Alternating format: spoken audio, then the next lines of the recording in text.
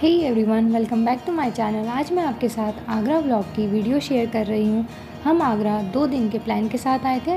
अगर आपके भी पास आगरा घूमने के लिए लिमिटेड डेज़ हैं तो आप इस वीडियो को लास्ट तक ज़रूर देखिए। तो चलिए शुरू करते हैं आज का आगरा व्लॉग सबसे पहले डे वन के लिए हम हमारी होटल से करीब दोपहर एक बजे आगरा फोर्ट पहुँच गए थे। सबसे पहले हम गए टिकट्स काउंटर पर। टिकट काउंटर के जस्ट पास आपको मिल जाएगा क्लॉक रूम जहाँ पर आप आपका बैगेज सेफली रख सकते हैं। अगर हम टिकट्स की बात करें तो यहाँ रुपीज़ फिफ्टी पर पर्सन टिकट है और इसका टाइमिंग मॉर्निंग सिक्स एम से इवनिंग सिक्स पीएम तक है। इसका डिस्टेंस आपको ताजमहल से 5.5 किलोमीटर्स का पड़ेगा। तो चलिए आपको ले चलते हैं अंदर।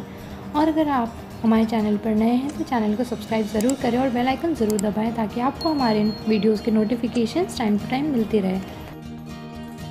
और अगर आपने वीडियो को अभी तक लाइक नहीं किया है तो लाइक ज़रूर करें। तो चलिए शुरू करते हैं आज की वीडियो।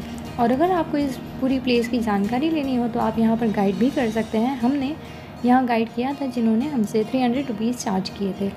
ये जो आप देख रहे हैं, ये है जहांगीर महल। ये है जहांगीर का बाट टब। हम आ चुके हैं जहांगीर महल के अंदर। आपको यहाँ से आगरा फोर्ट से नज़र आएगा ताजमहल। अब आप थोड़ा अंदर जाएँगे तो आपको दिखेगा अंगूरी बाग। यहाँ पर होती थी अंगूरों की खेती। फिर आपको दिखेगी मीना मस्जिद जो कि क्लोज है। हमें आगरा फोर्ट अच्छे से घूमने करीब दो तीन घंटे लग गए। आप आपके टाइमिंग के हिसाब से यहाँ आराम से घूम सकते हैं। ये जो आपको नज़र आ रही है, ये है मोती मस्जिद। इसमें अंदर जाना अलाउड नहीं है तो हमने इसे बाहर से ही अच्छे से देख लिया। हमारी नेक्स्ट डेस्टिनेशन है इतमादुद्दौला, जिसे बेबी ताज भी कहा जाता है। अगर बात करें हम यहाँ की टाइमिंग्स और टिकट्स की तो यहाँ का जो टिकट है, वो पर पर्सन रुपीज़ थर्टी है और यहाँ का ओपनिंग और closing time morning six A M से इवनिंग सिक्स पीएम तक है। अगर बात करें इसके डिस्टेंस की तो ये आगरा फोर्ट से लगभग 4.4 किलोमीटर्स की है।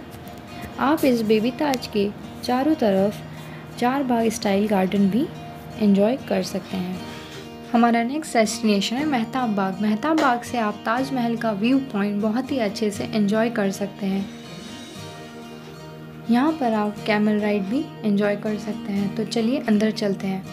अगर बात करें यहाँ के टिकट्स की तो यहाँ पर टिकट 15 टू 25 रुपीज़ पर पर्सन है। और यहाँ का ओपनिंग और क्लोजिंग टाइम 6 एम से 6 पीएम तक है और इसका डिस्टेंस बेबी ताज से 2.5 किलोमीटर्स का है। आप देख सकते हैं यहाँ से कितना ब्यूटीफुल व्यू आ रहा है ताजमहल का। ये मेहताब बाग क्योंकि ताजमहल के जस्ट बैक साइड है तो यहाँ शाहजहाँ ब्लैक ताजमहल भी बनवाना चाहते थे। हमारा नेक्स्ट डेस्टिनेशन है सदर बाज़ार।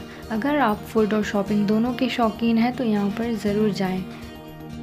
ये है फुटवेयर्स का मार्केट यहाँ आपको हर टाइप की फुटवेयर्स मिल जाएगी। यहाँ पर बाहर बहुत सारे मेहंदी आर्टिस्ट भी बैठते हैं तो आप यहाँ मेहंदी भी लगवा सकते हैं। तो चलिए, अब चलते हैं फ़ूड वाली गली में। आपको यहाँ अलग अलग तरह की बहुत सारी चीज़ें ट्राई करने को मिल सकती हैं। आपकी जो भी फेवरेट चीज़ें हैं, आप यहाँ पर ट्राई कर सकते हैं। हमने भी यहाँ बहुत सारी चीज़ें ट्राई करी। आगे मैं आपको बताऊँगी कि हमने यहाँ क्या क्या ट्राई किया। हमने यहाँ फ़र्स्ट ट्राई किए वेज मोमोज़। आप देख सकते हैं कितने टेस्टी लग रहे हैं। नेक्स्ट हमने यहाँ ट्राई किया ओरियो शेक जो कि बहुत ही टेस्टी था। फिर हमने ट्राई किया आइसक्रीम फालूदा यहाँ पर हमने और भी चीज़ें ट्राई की थी। हमने यहाँ कॉर्न चाट और पानी पूरी भी ट्राई की थी। ये देखिए, हमारा यमी आइसक्रीम फालूदा रेडी हो गया है। फिर हम गए थे चाट कॉर्नर पर, जो सबका फेवरेट होता है। क्या आपका भी फेवरेट है? कमेंट करके ज़रूर बताएँ। नेक्स्ट हमने ट्राई की दही पूरी, जिसका टेस्ट लाजवाब था। फिर हम आ गए हैं आगरा का फ़ेमस पेठा लेने। यहाँ हमें बहुत सारी वैरायटी में पेठा देखने को मिले। हमने यहाँ से फाइव फ्लेवर्स ऑफ़ पेठे लिए थे। हमने सबसे पहले ट्राई किया ड्राई पेठा। फिर हमने ट्राई किया चॉकलेट पेठा, जो बहुत टेस्टी था। ये पेठा बच्चों को बहुत पसंद आएगा। नेक्स्ट है केसर अंगूरी पेठा। ये वाला है रोज़ पेठा, जिसके ऊपर कोकोनट का बूरा लगा हुआ है। लास्ट हमारा जो पेठा है, वो है पान फ्लेवर पेठा। इसके अंदर की फीलिंग बहुत यमी थी। ये था हमारा डे वन जिसमें हमने बहुत ज़्यादा इन्जॉय किया। डे टू की वीडियो भी जल्दी अपलोड की जाएगी। जब तक के लिए stay tune thank you bye